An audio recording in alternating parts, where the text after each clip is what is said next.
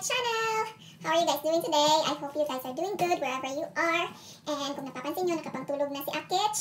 Pero before tayo matulog, dapat may ritual muna tayo. May achuchu muna tayong gagawin sa ating um, mukha. It's just, hindi. Um, hindi naman siya product review kasi hindi ko pa siya na-try gamitin. Ita-try ko pa lang siya. Itong ano, um, charan! Dr. G Black Snail Cream. Mm, yan. It's a product from Korea. Di ba sikat ang Korea sa mga product na ganito? Yeah, snail cream, black snail cream, ganyan. Um, pero ito, bigay ito siya sa akin ng aking sister-in-law sa Canada. Shout out sa iyong family. Hi! Mami Jenny, Kuya Floro, Ian, and Desai. How are you guys? So, thank you nga pala sa snail cream sa, ano, pa-sponsor na snail cream. so, ngayon, i-open natin siya and ita-try natin kung, ano ba siya, kung hiyang ba ang ating mukha sa snail cream kasi first time natin gumamit. Ang ginagamit ko lang sa, ano, sa mukha ko after maligo and before matulog is, ano, charan, Olay Complete ito, ito lang siya. Wala talaga akong ano, rit ritual, ritual, rit ritual na ginagawa sa itsura ko before matulog or ano, ganyan. After maligo, ito lang ang nilalagay ko. Kasi ano, tamad ako maglagay sa itsura ko. tamad ako mag, ano, maglagay ng mga uh, beauty product. Tsaka hindi din ako marunong kung ano ba yung ano yung dapat, ano yung pwede sa skin or ganyan. Wala talaga akong ano, what's knowing ako sa mga ganyan. So, ito lang. Ito yung ginagamit ko. So, ngayon, ito try natin yung ano, yung ito, Dr. G Snail Black Snail Cream. So, ang ganda ng packaging niya. No? Social. Social siya. Yayamanin ang ano, ang box. And then, My Skin Mentor, Dr. G. Meron naman siyang ano, uh, Korean yung nakalagay pero may English naman siya na ano. We develop the best products with empathy because we believe everyone deserves healthy, beautiful skin. Yan. Dito, ano na. Wala na. Korean, ano na siya. Korean na. Ay, meron pala dito. May English pa. Dr. G Black Snail Cream, Brightening and Nourishing Cream. This dual function cream containing components from black snails offers vitality and nutrients to your skin and makes it brighter and healthier with, with pearl powder. Oh, diba? Social, may pearl powder. Directions. Apply a proper amount evenly at the last step of skincare. Last step daw. Ito na yung first kasi wala nang iba. Gently pat for absorb absorption. Keep away from children. For external use only. Do not use on wounds or if you are allergic to any ingredients of this product. So, we'll read the products. Wala naman akong ka-allergy, allergy.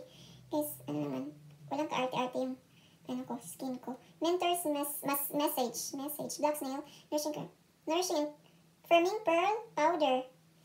Go One Sisang Cosmetics Co. Made in Korea. Yan. So, i-open na natin siya. Excited akong i-try. First time ko kasi ano. Ayan. Ay, may ano siya. May pakutsara. Ice cream ba to? Ice cream siguro to. siguro to. May kutsara siya. Baka ice cream to. Open natin. Hmm. Yan. Oops. Oops. Yeah. Mhm. May ano pa siya. Ang bango. Ang bango. Sarap kainin. Ice cream ba to?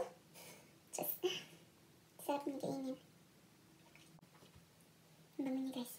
Before tayo maglagay sa mukha natin, ay wash muna natin ang ating mukha. Okay? Magilamos muna tayo.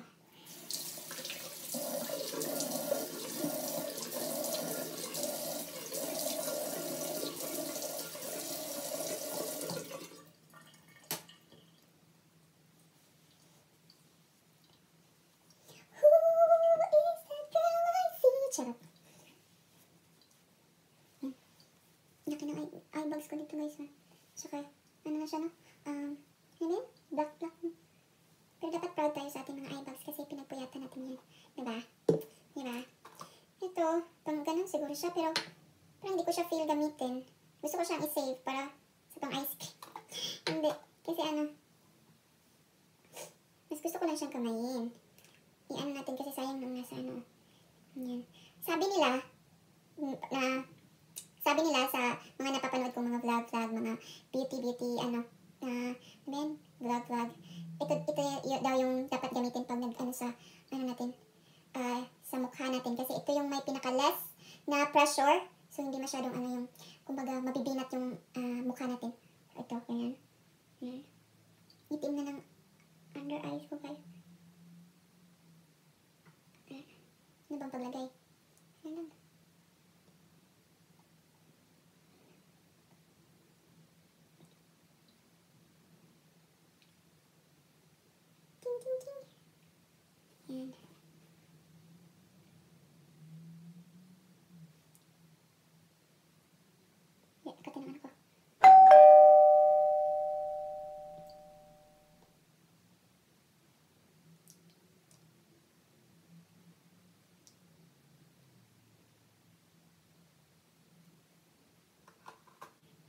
Dahan-dahan lang daw dito sa ano ah, sa mata, bandang mata guys kasi ano siya, sensitive yung ano, parang hindi ka magka, ano ba yun, saki, yung ano, skin. Pero sa akin guys, etchos-etchos na yun kasi hindi talaga ako, wala akong nilalagay sa, hindi nga ayun, oh, tinan niyo yung kilay ko, walang kakilay-kilay. Kasi hindi ako marunong kahit, hindi ako marunong kahit tamad akong mag ano, mag, mag-artist ano, mukha ko. Yan. Maybe this is a start para mag-ano sa ako, mag-ano ko sa itsura ko, sa mukha ko natin yung ano natin, yung leeg para fair. Ba? Kasi connected siya sa ating ano, mukha para fair naman tingnan. Pataas, pataas lang guys para hindi magsag ang ating ano. Kung meron tayong mga tips kung paano ano ha, kung paano yung mga ah, beauty regimen nyo or beauty um, rituals nyo before kayo matulog, after kayo maligo, i-share nyo naman guys ha. Comment down below kung ano yung mga, kung mali ba yung ginagawa ko kasi first time ko mag ano, ganito. Yung ano lang ginagamit ko sa mukha ko, olay, yun lang. That's it. Low maintenance lang guys. Yan. Ang bango niya, sarap niya sa ano, sarap niya kainin.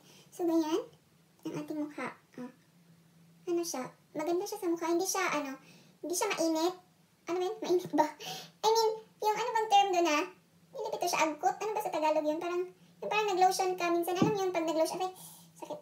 Pag nag-lotion ka, yung, parang, anong mafe-feel mo? So, ayan. Yan siya, guys. After na nalagay.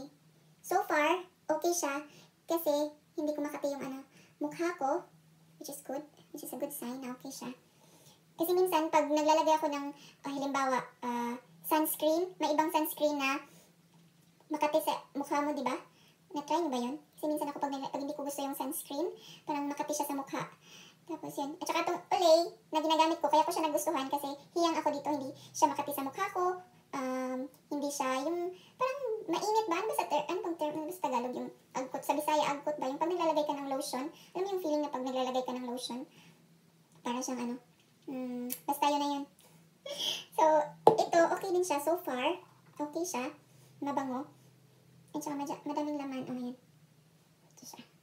So, wala naman siyang nakalagay na ano na, ilang beses pwedeng maglagay. Siguro before, before ano, before matulog.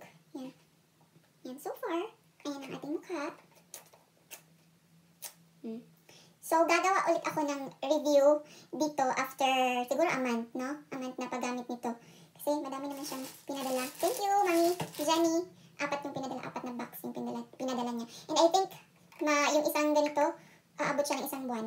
So, um, mag, ano, gagawa ulit ako ng vlog. Ah, review na siya kung effective ba siya or kung hindi naman effective. Kasi wala naman akong pimples or ano sa mukha ko. Pero we'll see kung hiyang ba kung anong, ano yung ano ko dito, review ko sa kanya. Okay? So that's it for today. That's it for tonight. Pala. Bye! See you in my next vlog.